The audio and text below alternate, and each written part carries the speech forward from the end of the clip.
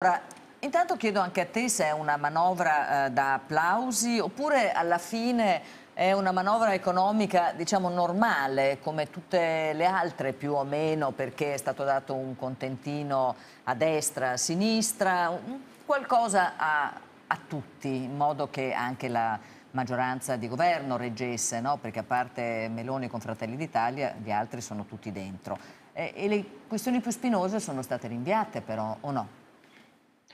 Ma è una manovra diversa dalle altre per una ragione semplice, che di solito c'è il problema che non si trovano i soldi e quindi si, si deve dire, litigare su cosa togliere a chi. Eh, qui siamo in un contesto inedito in cui per la prima volta ci sono molti più soldi di quelli di cui sostanzialmente abbiamo bisogno, tanto che è la prima volta che io mi ricordo che viene annunciato un taglio delle tasse di, eh, do, 12 di miliardi, 12 no? miliardi senza che ancora si sia neanche ben deciso dove si mettono, cioè vuol dire che non c'è stato ancora un vero negoziato, mentre in passato si, si trattava anche su, sul singolo miliardo, su poche cifre molto più basse. Quindi questa è la grande differenza. Poi è chiaro che qual è l'utilità di avere così tanti soldi, che appunto si può dare un po' a tutti, tenere sostanzialmente tutti buoni, il che eh, come dire, eh, è una scelta politica non ovvia perché noi stiamo diciamo facendo manovre che Draghi, il Draghi banchiere centrale direbbe procicliche, cioè mentre la crescita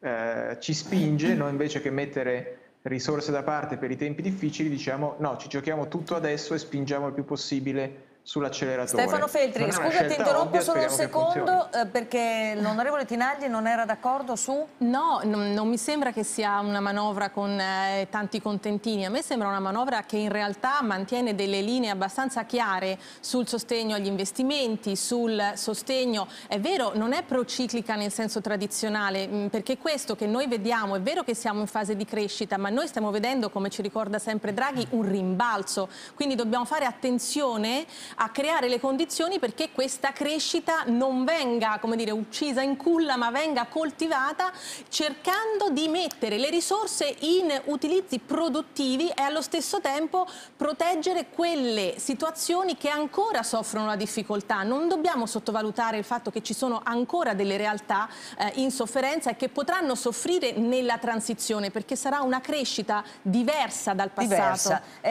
e Gard Lerner sarà